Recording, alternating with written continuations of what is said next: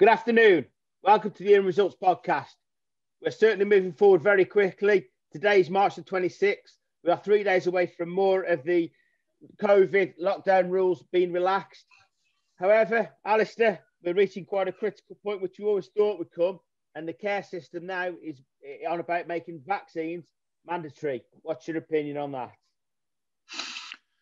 Uh, it's it's a tough one, Ben. I mean, you know, I I was I've been quite surprised at the resistance in certain communities and and certain age groups. And um, you know most most people I know have as soon as they've had the opportunity they've been going with a hop skip and a jump to the vaccination centres and they've been getting their jabs and feeling pretty good about it. And um, so it, it comes as a bit of a surprise when you then find that there are there's quite a lot of resistance to it. And actually, it does throw up um, a lot of a lot of arguments for and against uh, comp- compulsory requiring compulsory requiring uh, people to vaccinate. Um, you know, it's it's it's um, it's it's it's somebody's own body after all, and their own mind and their own philosophical beliefs. But how do you then balance that with the wider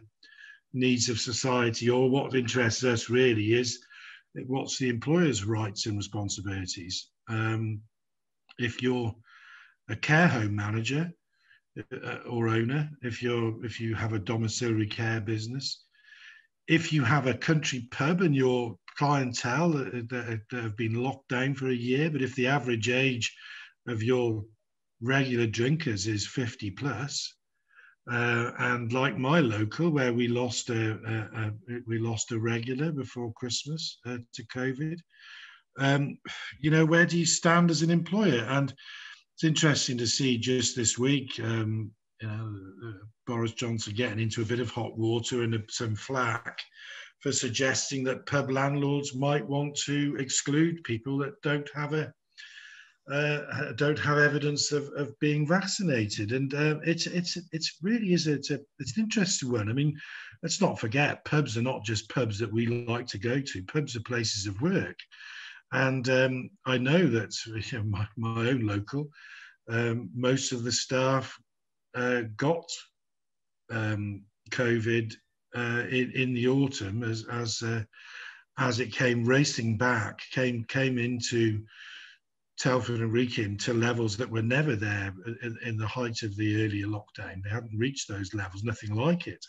And, um, you know, I can imagine that a landlord like ours, of a, of a pub, I can think that he would feel quite strongly that people should feel safe because, um, you know, we, we've all got our anxieties.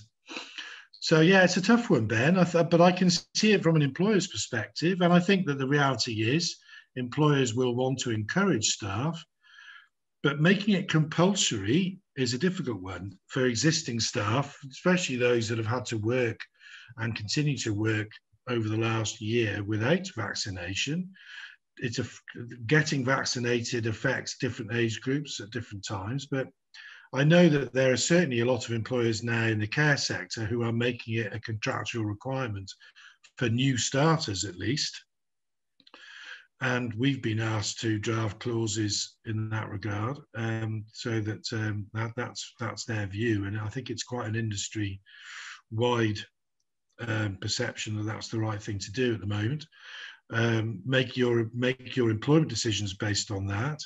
Now, whether that indirectly discriminates against people's religious beliefs, for example, I, I think it's this is this is why government legislation might be on the cards because people's competing rights need to be aired and discussed uh, and not not trampled on.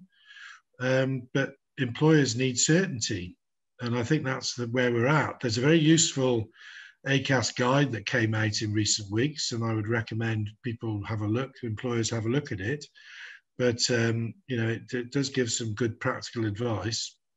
Um, but to actually go a step further and insist on it and base your recruitment requirements on it, um, you're going to discriminate against somebody, whether it's because of their age, uh, their pregnancy, their uh, religious beliefs, other philosophical beliefs that might be covered by the Equality Act. Um, you know, there, there's going to be trouble afoot uh, down the line. So I think we, we do need government intervention uh, for some clarity uh, rather than have the uncertainty of, um, of case law establishing um, what might be reasonable down the line. Is, is there two sides to this? Is, is there a legal argument and a moral argument? Yeah, I think the two are very closely linked, to be frank, Ben. Yeah, there is. Yeah. I think this. I think this is certainly a case, as you always say, you'd rather see a test case than be involved in the first one, wouldn't you? On this? Oh, Ben, I've said it before, and absolutely right.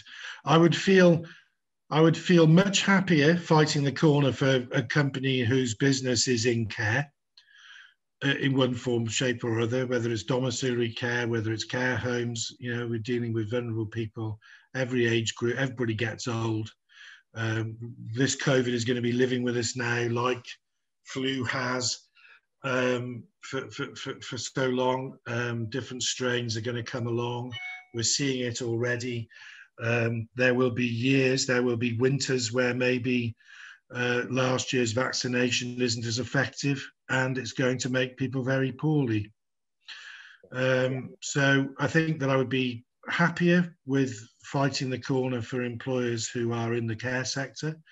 But I think that employers generally, if they're sending staff out to other people's homes, like your Pimlico plumber chap, who's very spoke, outspoken about it and has been for a while, yeah, very clear on that. And, and, and if he's sending plumbers out to people's homes, they're going from home to home in the same fashion that a the, the same manner in which a domiciliary care worker is.